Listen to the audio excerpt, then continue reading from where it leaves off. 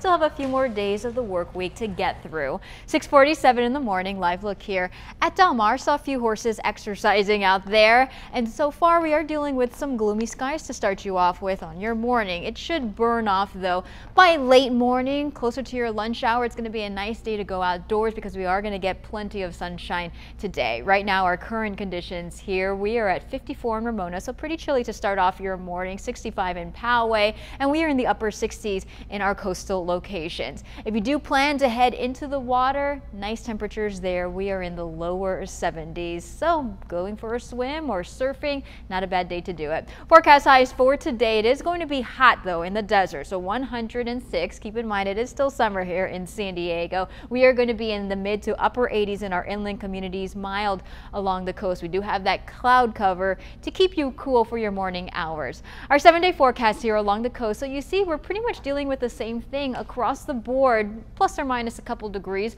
Those overnight lows are going to be in the upper 60s, lower 70s. Our inland communities much warmer. We could hit 90 by Friday, so we are inching up there a couple degrees day by day.